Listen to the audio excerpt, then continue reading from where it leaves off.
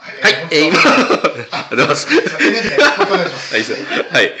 えっ、と、社長のための管理会計基礎講座、えー、を受けていただきました。川口さん、えー感想の方一言どうぞ。はい、本日お世話になりま。す。えっ、と前回受けさせてもらって、はいえーさらに今回で、まあ、PLBS ええに関して、えー一歩突っ込んだ、ええあー勉強させていただきました。はい。